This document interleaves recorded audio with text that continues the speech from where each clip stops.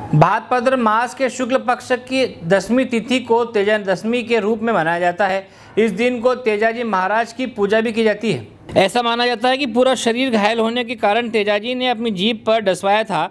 भाद्रपद शुक्ल दशमी के उनका निर्वाण हो गया था। यह देख पेमल मसती हो गई। इसी के बाद में राजस्थान के लोक रंग में तेजाजी की मान्यता की बात कही गई। गायों की रक्षा के कारण उन्हें ग्राम देवता के रूप में लोग पूछते हैं। नाग ने भी उन्हें वरदान दिया था। उस दिन से त्रयोदशमी पर्व मनाने की परंपरा लोगों ने अपनाई है। सोमवार को यह पर्व बेटमा और क्षेत्र के गाँव में बड़ी धूमधाम और भक्तिभाव के साथ मनाया गया। बेटमा से राजेंद्र सूर्यवंशी की रिपोर्ट। हेलो फ्रेंड्स आप देख रहे हैं हमारा channel S W twenty four news हमारे सारे वीडियो सबसे पहले देखने के लिए आप हमारे चैनल को सब्सक्राइब करें और पास में लगे बेल आइकन को दबाना बिल्कुल भी ना भूलें।